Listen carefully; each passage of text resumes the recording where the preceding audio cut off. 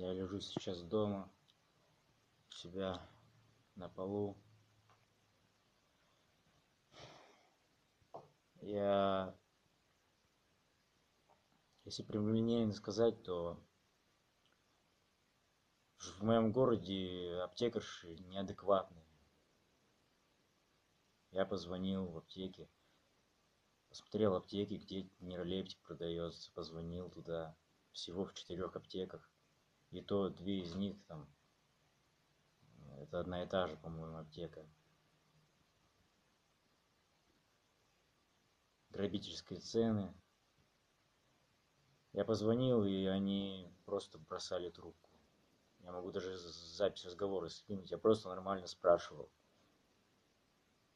Они просто бросали трубку. Первый раз я позвонил, спросил, вы до 7 работаете? Она промолчала.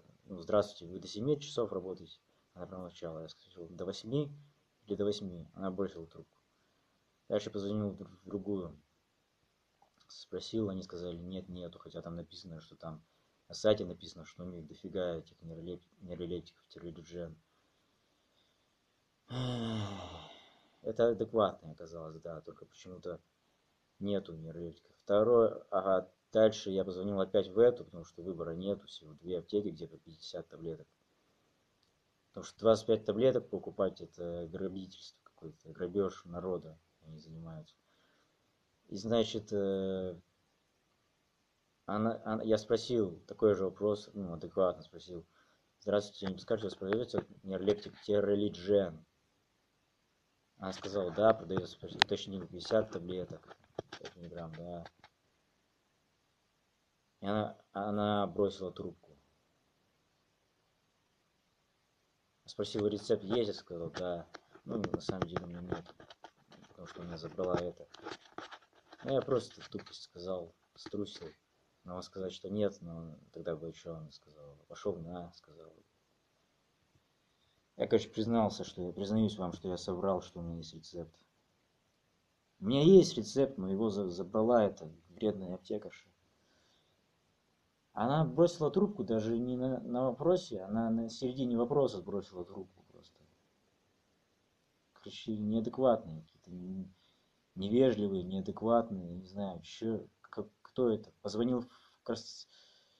в Красноярскую аптеку, там адекватная абсолютно адекватно.